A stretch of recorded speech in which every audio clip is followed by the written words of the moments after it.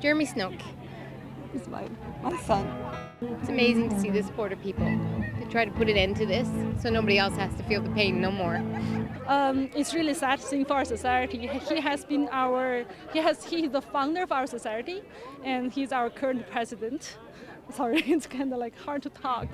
Mm, we are here for him um, for this time for sure, but I think we're going to do this every year, just for him to remember him and remember every person who suffered from cancer.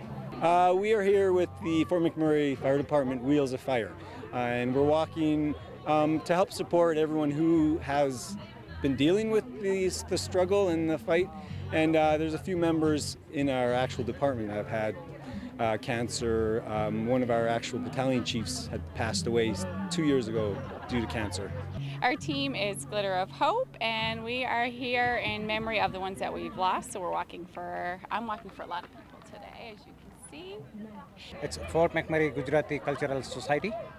We are walking for cancer survival, so we believe that this kind of uh, event help uh, to do research in the cancer, and that help uh, to make more and more survival from this kind of disease. So we, we all can fight, and we all can uh, basically fight against the cancer.